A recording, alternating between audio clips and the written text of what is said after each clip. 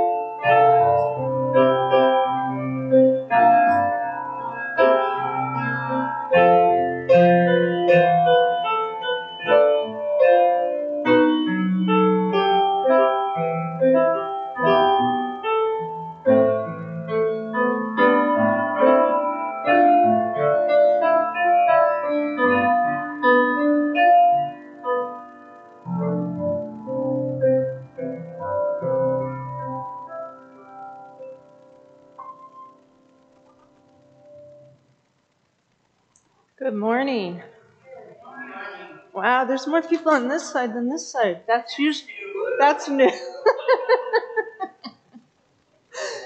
it is good to be here with you all this morning.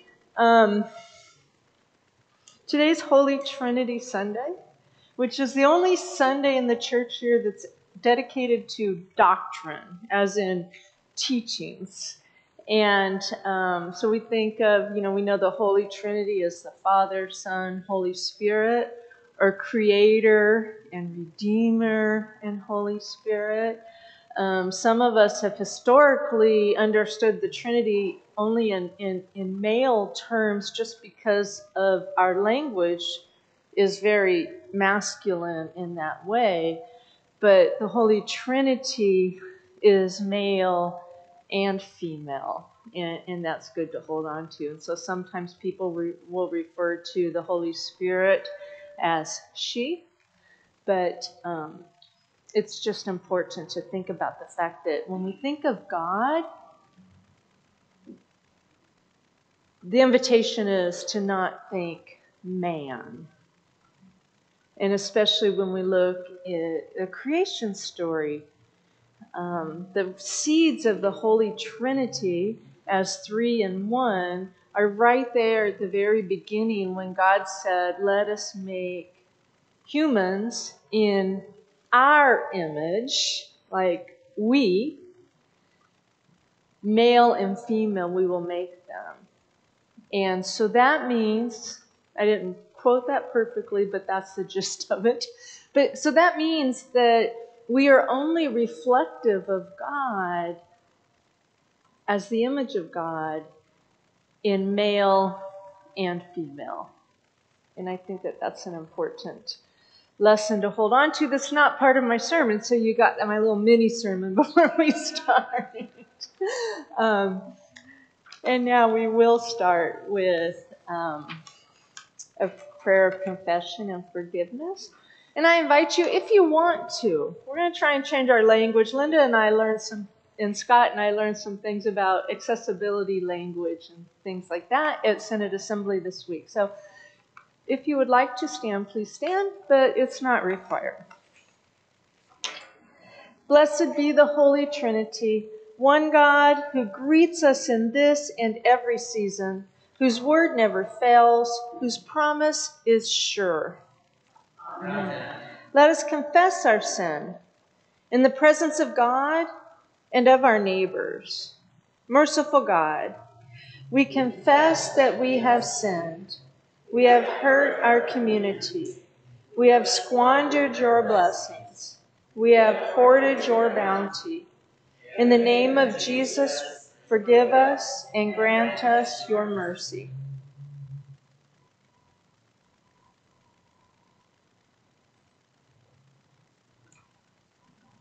Righteous God, we confess that we have sinned.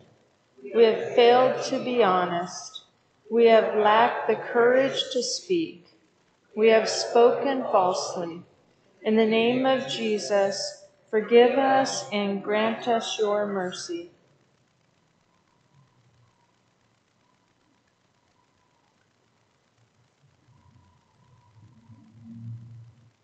God is a cup of cold water when we thirst. God offers boundless grace when we fail. Claim the gift of God's mercy. You are freed and you are forgiven in the name of Jesus Christ. Amen. And we join in singing, Holy, Holy, Holy, Lord God Almighty.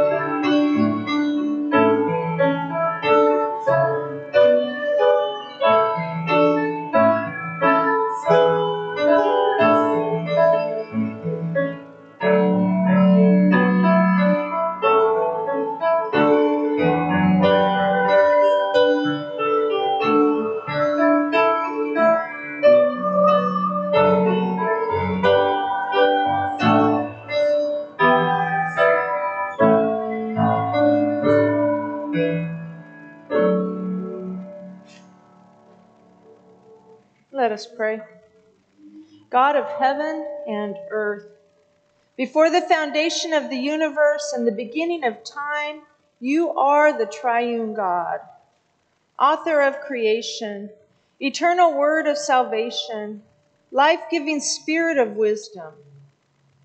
Guide us to all truth by your Spirit, that we may pro- proclaim all that Christ has revealed and rejoice in the glory Christ shares with us. Glory and praise to you, Father, Son, and Holy Spirit, now and forever. Amen. Please be seated.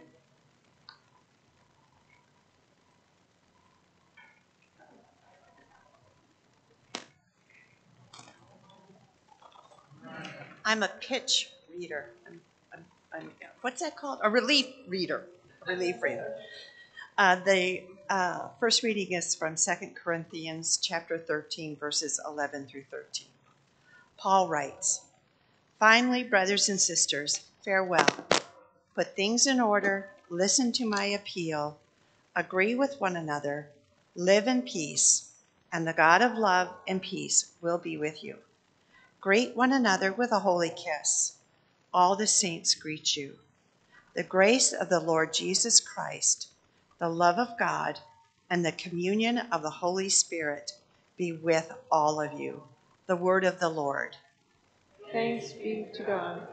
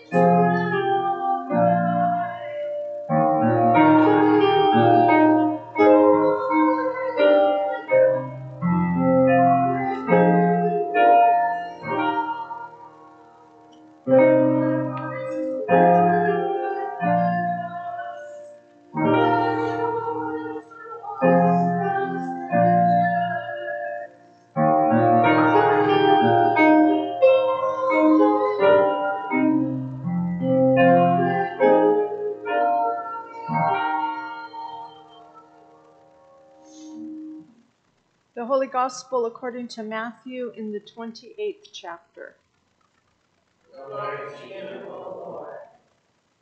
Now the eleven disciples went to Galilee, to the mountain to which Jesus had directed them.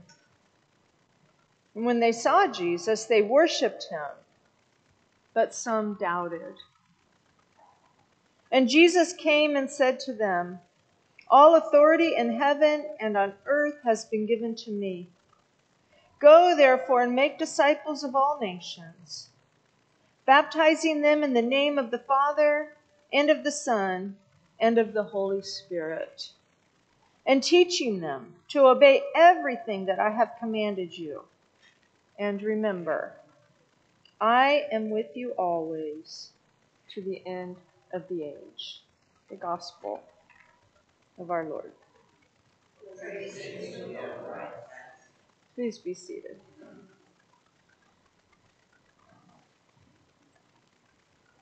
Let us pray. Lord God, as we reflect on your word, here and outside these walls, help us to remember that promise that you are with us all the way to the end. In Jesus' name, amen.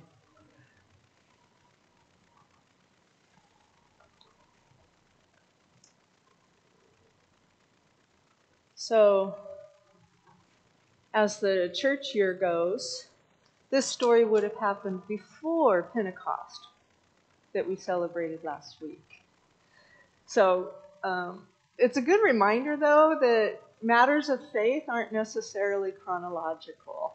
And so we, we can hold on to that just in how we how we read our scripture. I love this story, this little snippet of the disciples encountering Jesus, the 11 remaining disciples. I especially love that the author of this gospel admitted that some of the disciples doubted. Now, some people will use this text to help authenticate the Gospels, the Gospel stories, because they'll say, well, you know, if they were just making it up, they wouldn't have admitted that there was doubt. It's actually a pretty good argument, right? Because if you're going to make a story about starting your new religion, you're not going to throw in, well, half of what's thrown in here. Like they doubted, or Peter sunk, or the disciples all fell asleep while Jesus was in the garden. The disciples, we might look at them as like, look at these people. They did such great things. They were human beings, just like us. And they made mistakes, just like us. They struggled, just like us. And they had their doubts. And I think that that is okay. And in fact, I think doubt, having doubt, is more healthy than being absolutely certain. Because when you're absolutely certain that this is white and this is black and there's a dividing line right between the two, you don't really have room for growth. When you're absolutely certain of something, it's really hard for somebody to introduce new ideas to you.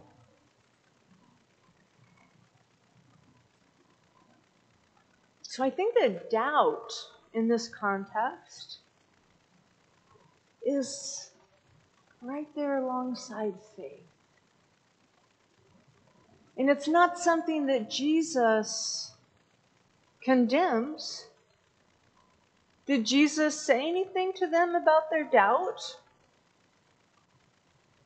Did he say, You got to believe if you're going to be worthy? He didn't say that. He didn't say, He does, you know, in other contexts, why do you have such little faith? What did he do in the face of that some doubted? He gave them a job to do.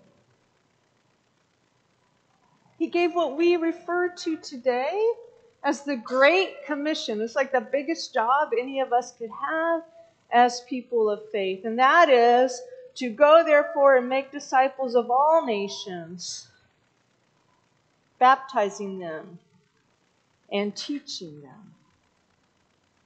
That's how we make disciples. We baptize and we teach.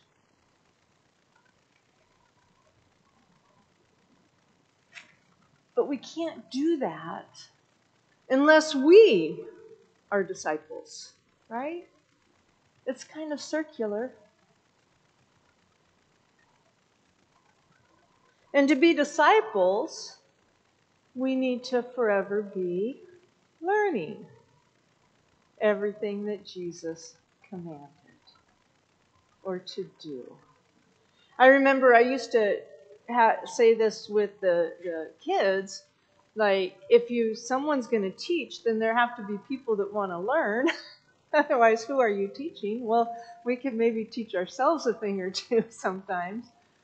But all of us are invited to be on a journey of learning.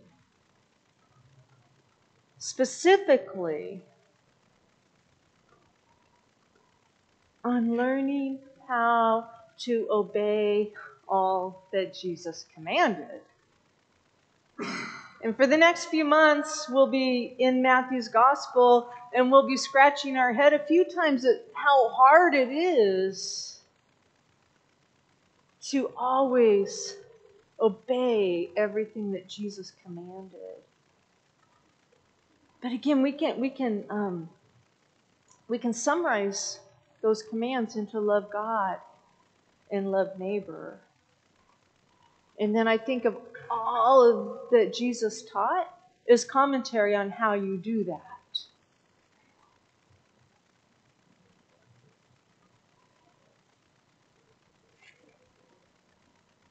For them and for us and for everybody in between. Part about uh, an important part about being a disciple is learning to see things differently. Learning how to love God. Learning how to love neighbor in the context of our time. Some people like to say, well, God's word never changes. And yeah, we could say that's true, but our context changes all the time. And so, how we understand what God is teaching us sometimes changes.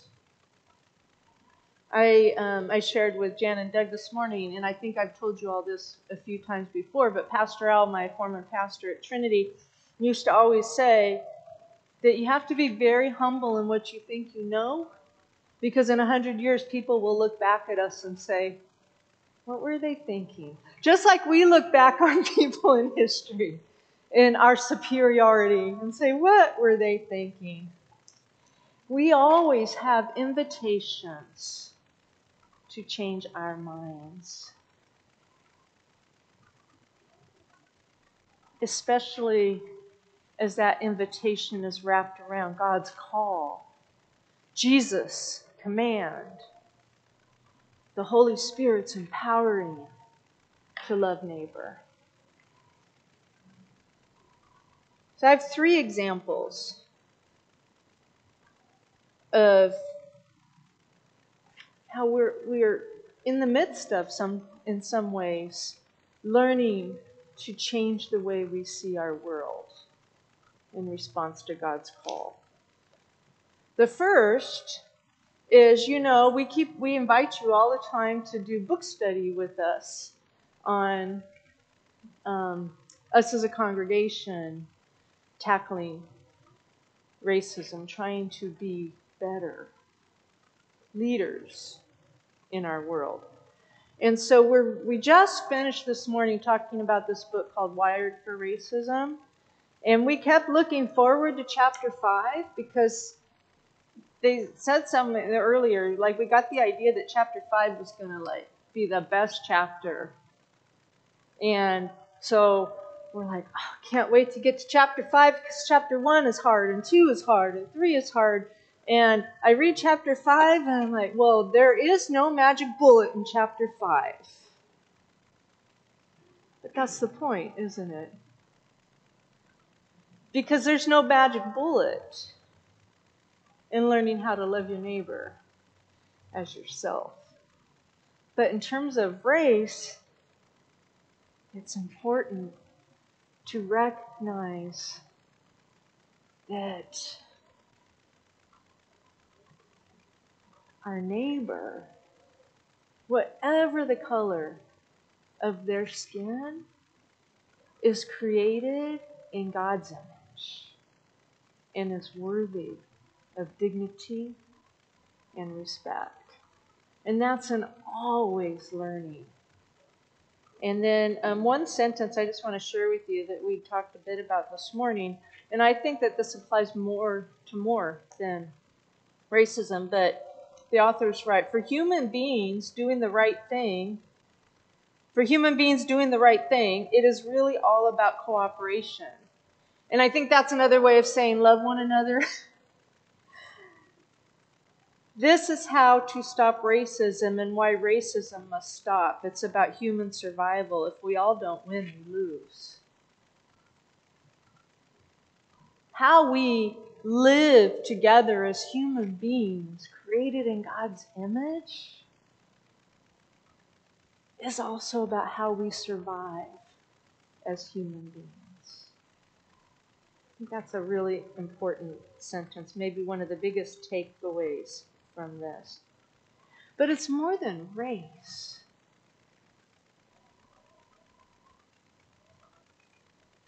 It's about seeing the dignity in everyone.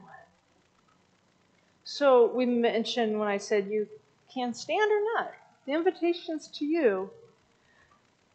The Synod Assembly this week was the theme was about the body of Christ, caring for the body of Christ. And there was um, Bible study, and then uh, the Bible study was led by a pastor who, um, it's like around the time COVID got here, he got an autoimmune disease where his body attacks the the the um, the the yeah the thing that covers your nerves, myelin. And so, if you can imagine having your nerves attacked by your own body, or and he and so his whole Bible study, it was a series of conversations, was helping us to recognize disability and and him sharing with us not recognizing disability but recognizing the human dignity of people who have disabilities. And his sharing with us that when he for a while he was in a wheelchair because his, his he lost the use of his legs because of the nerves. And he's actually gotten a little bit better so he can walk with a cane. But he said when he was in a wheelchair he experienced that people did not see him as a strong white man or pastor.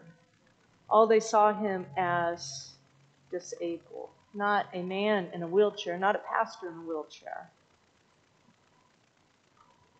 The keynote speaker is a bishop in um, Wisconsin, Michigan. Thank you, guys. I, I always get the gist of it. and he was born blind. And he, and I've heard him speak before, so I may have mentioned him before to you, because he was a keynote speaker at one of the events I was at. When he was born, his parents, his parents were told, "Don't get life insurance for him because he's just going to run out into the street and get hit by a car." Um, and maybe he can get a job, you know, doing some menial labor, but definitely not going to be a bishop someday. But he talks about how even in the ELCA, he's been a bishop for 10 years and he has he keeps telling them that this is not accessible to me this and they and we don't change. We never fix it. But it's a reminder to us that to be disciples and to be learning as disciples how to love our neighbor means we need to learn to see our neighbor first as a human being, somebody precious created in God's image, and not to see our neighbor as whatever it is that has caused that person to be disabled. It sounds easy, but it's not.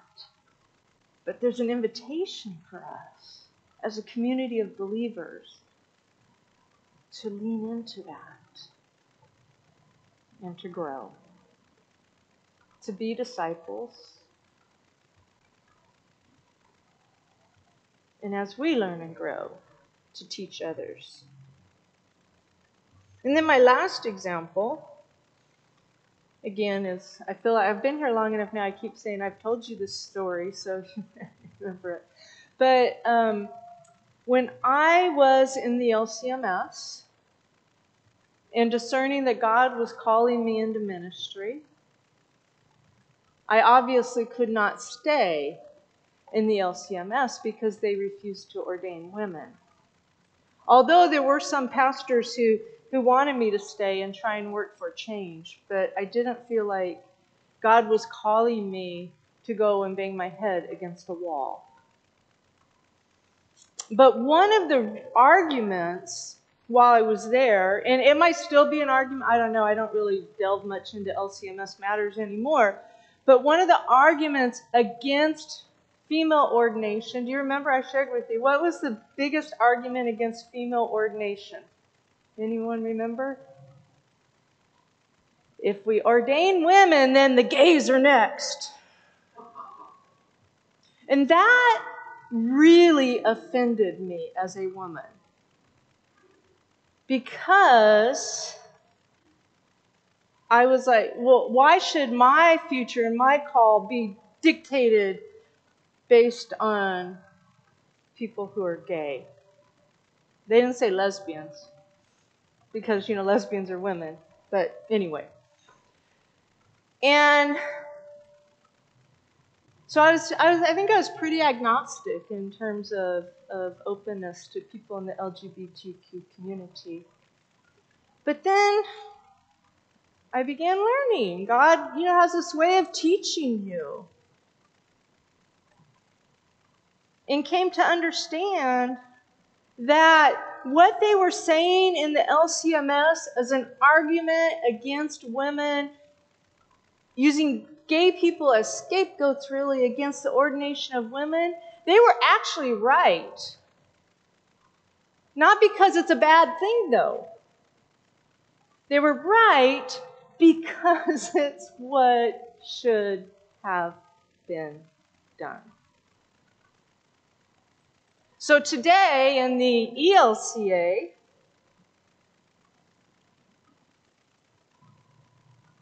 gays and lesbians and transgendered and queer folks, they can be ordained. And that, my friends, is a very good thing. And it's a and it's an example I think some of us could hold on to where God has taught us to see things in a different way. To recognize people first as human beings who are precious and created in God's image, and not as society might want to define them.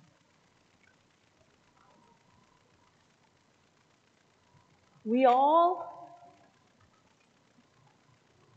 have places where we can learn better to love our neighbors.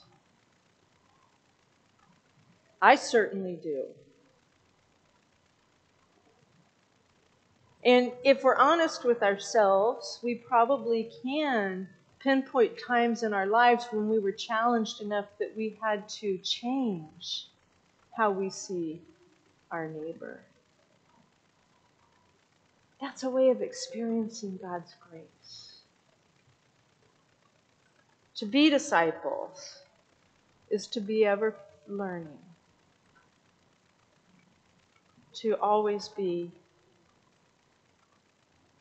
about figuring out how to see our world in a way that grants dignity and respect and love to all people.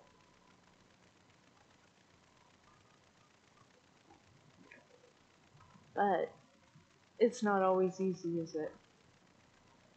We look at the world around us and we've become, as a nation, so polarized over these issues that I just talked about. Which takes me back in a circle. Say life uh, is, is it's faith life is circular. And for me,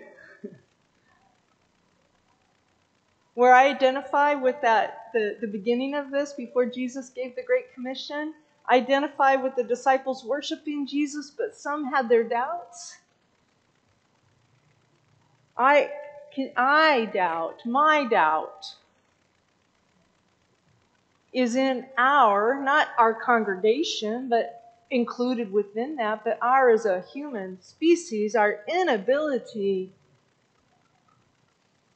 to move beyond our certainty and move into love of neighbor.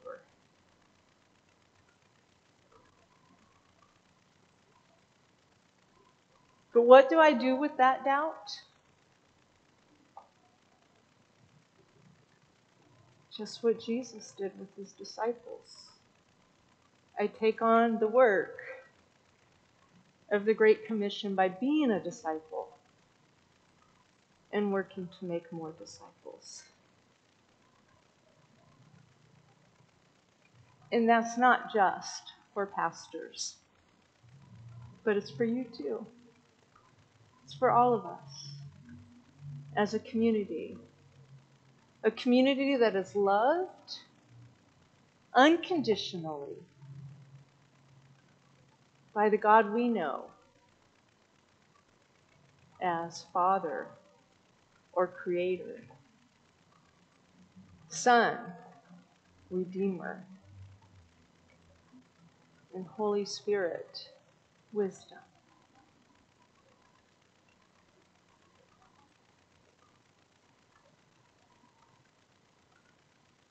That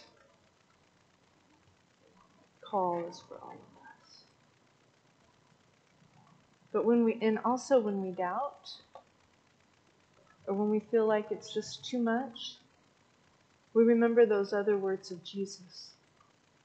He said, Remember that I am with you always, even, especially, to the end. Amen.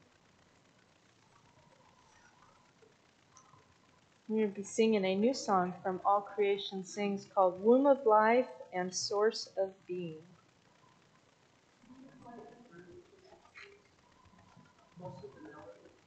Okay, Tim's going to play the melody through.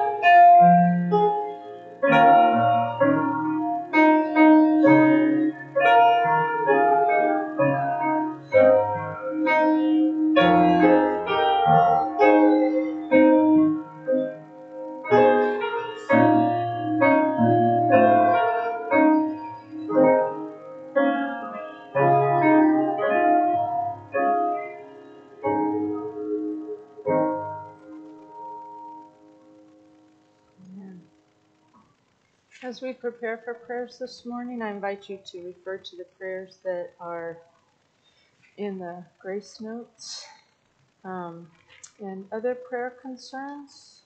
Robin? Okay, prayers for our congregational meeting. Donna?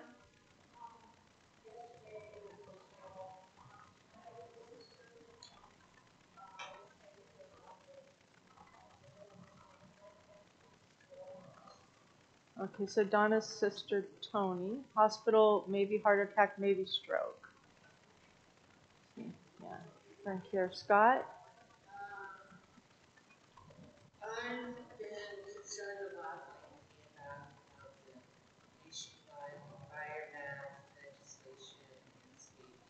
Been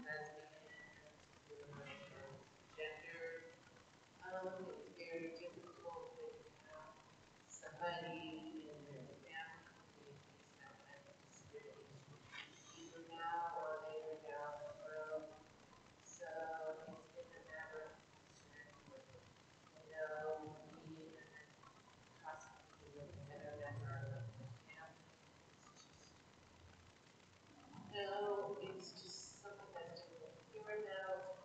And suddenly, if you try always use as a symbol, gay, lesbian, transgender people, um, people that are not succeeded, not forced, um, them to wear that badge on uniforms. Mm-hmm. The triangle is interlinked in Star Daily, but it was often used as a symbol of hate for others as well. I don't know what the symbol was for Jesus, was also incarcerated. Yeah, I don't either. Um, Trinity Sundays has a lot of different, a lot of different levels. Yeah, all right. So to summarize all that for people who are on Zoom who can't hear you, um, prayers for the the LGBTQ community, especially because of so much hateful and um, dehumanizing legislation that is being either passed or presented um, throughout our country. And um, it's not enough to say, well, we live in California. That's not enough because we're a nation that um, sometimes what happens in Georgia or Texas or Florida affects us here in California. And so keep for lifting up that prayer. I will add prayer that um, today is the start of the AIDS/LifeCycle. And um, it's an awesome experience where people who are gay or lesbian or transgender queer get to enter what they call the love bubble, where for one week they don't have to hear any of that stuff, but get to be supportive of one another while at the same time pushing their bodies to the limit whether it's a cyclist or as a volunteer. Because the volunteers, I think, are working as hard as the cyclists, they're just not on a bike. So keep that ride in your prayers. And Friday, if you have time, go to Ventura and cheer them as they come in. Or Saturday morning, go out on harbor and cheer them as they go out. Prayer concerns online? Eileen. Hi, Eileen.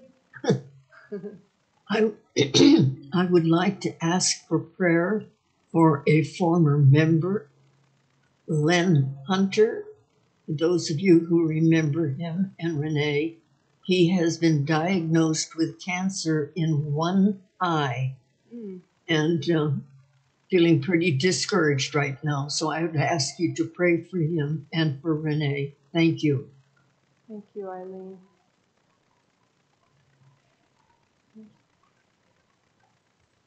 Let's pray. Trusting in God's abundant mercy, let us offer our prayers as disciples who are continuing to learn. Let us offer our prayers for a world in need.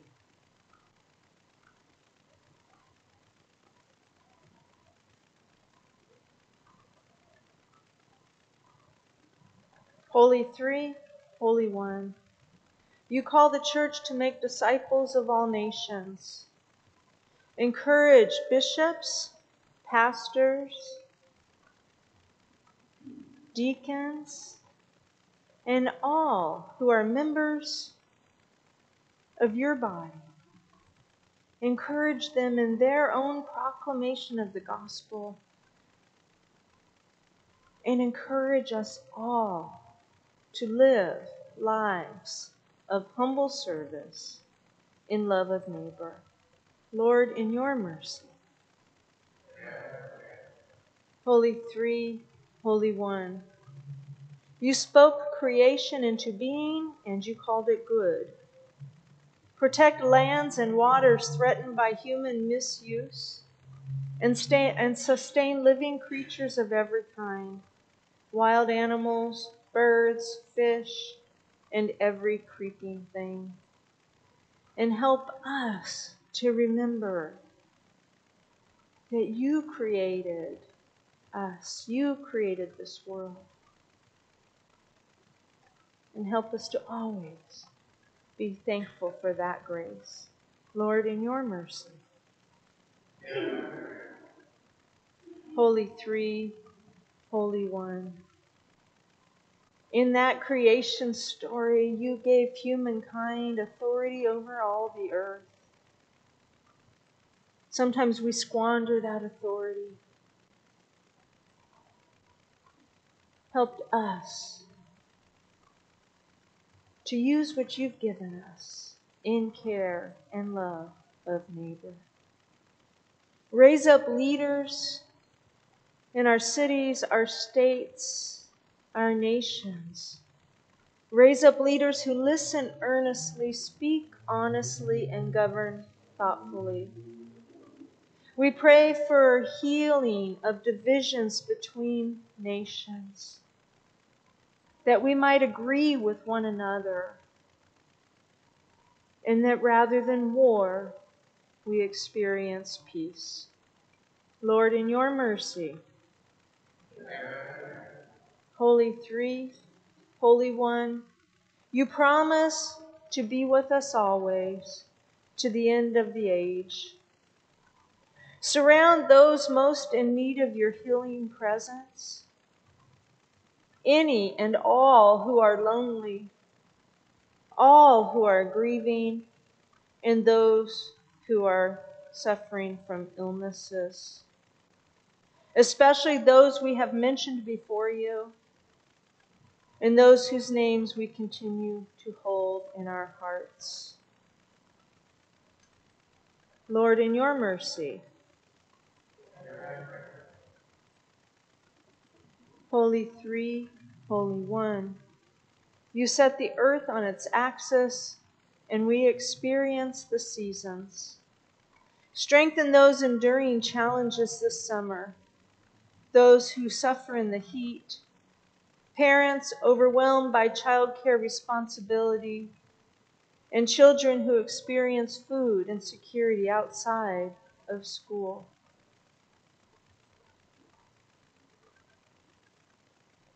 And as our children in our preschool graduate this week, we pray that they leave this place not only prepared for either kindergarten or first grade, but they leave this place knowing that you love them unconditionally. And may we continue to teach that in our school. Lord, in your mercy, Holy Three, Holy One, you give rest when our work is done. We give thanks for all the saints who now rest in you, confident in the promise of resurrection life in the age to come. God, in your mercy, receive our prayers and answer us, O God, in the name of Jesus the Christ. Amen. And the peace of Christ be with you always. I invite you to share that with one another as you feel able.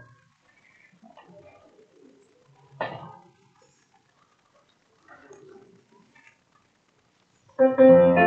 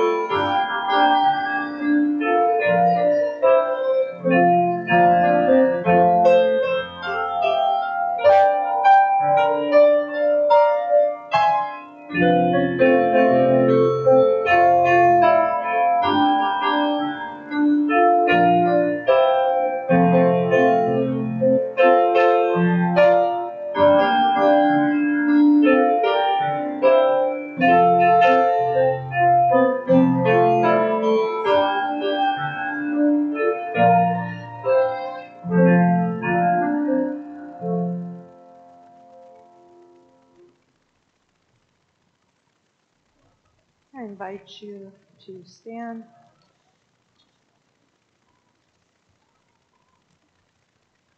Let us pray. God of field and forest, sea and sky, you are the giver of all good things. Sustain us with these gifts of your creation, and multiply your graciousness in us, that the world may be fed with your love. Through Jesus Christ, our Savior and Lord. Amen. The Lord be with you. Lift up your hearts. Let us give thanks to the Lord our God. It is indeed right, our duty and our joy that we should at all times and in all places give thanks and praise to you, Almighty and merciful God.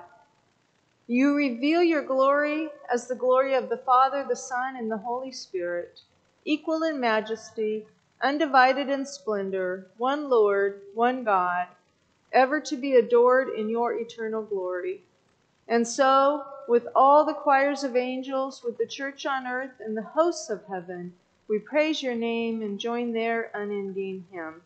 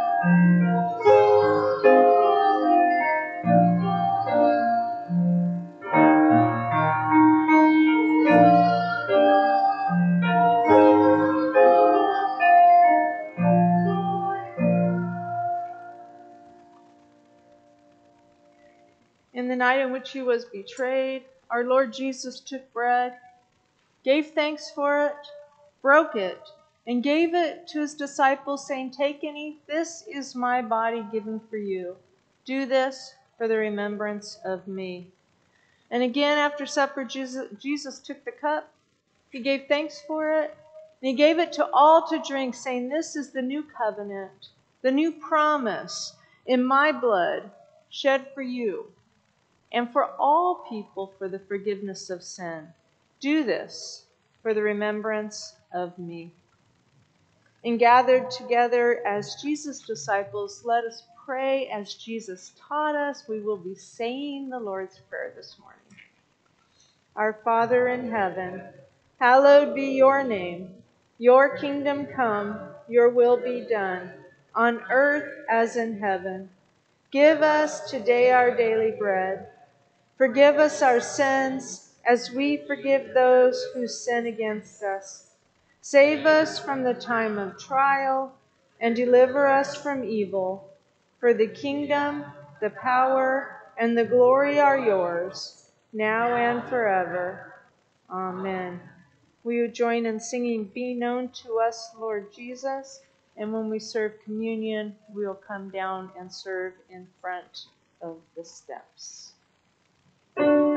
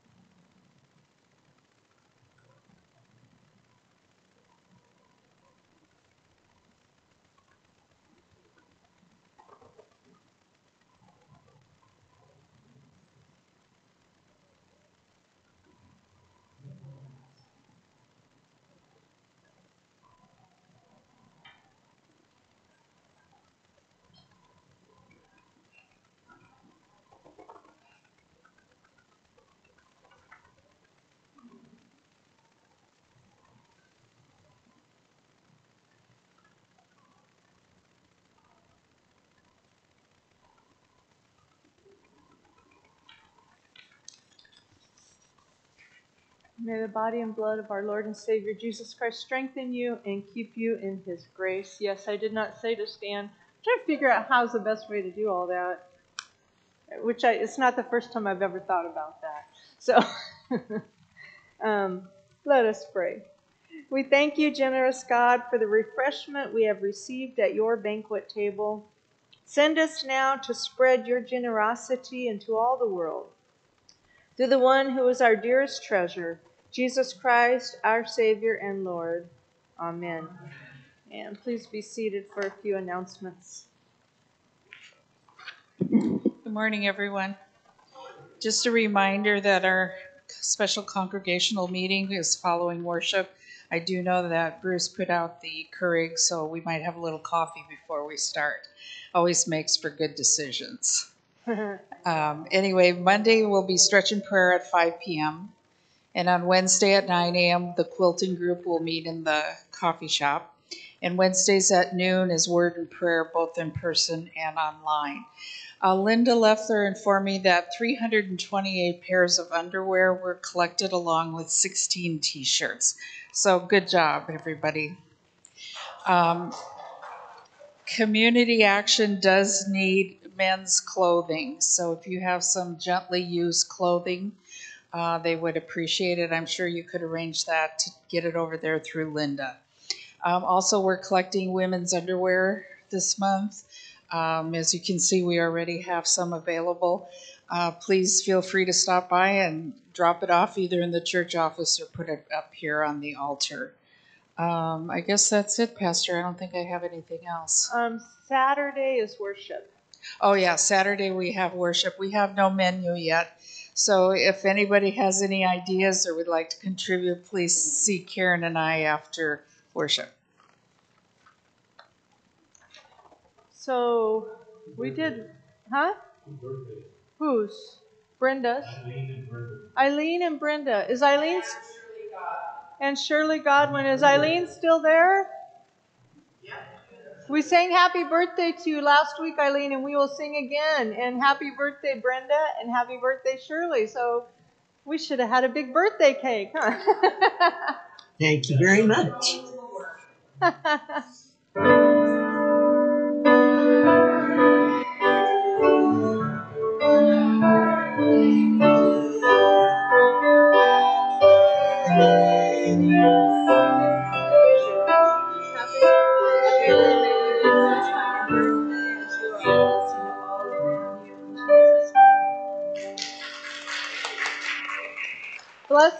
to you, Eileen and Brenda, on your birthdays as you continue to be a blessing to all of us and everyone around you. Okay, if you'd like, you can stand for one last time before we come sit down for our congregational meeting. The God who calls across the cosmos and speaks in the smallest seed, bless, keep, and sustain you now and to the end of the age. And we sing, Heaven is singing for joy.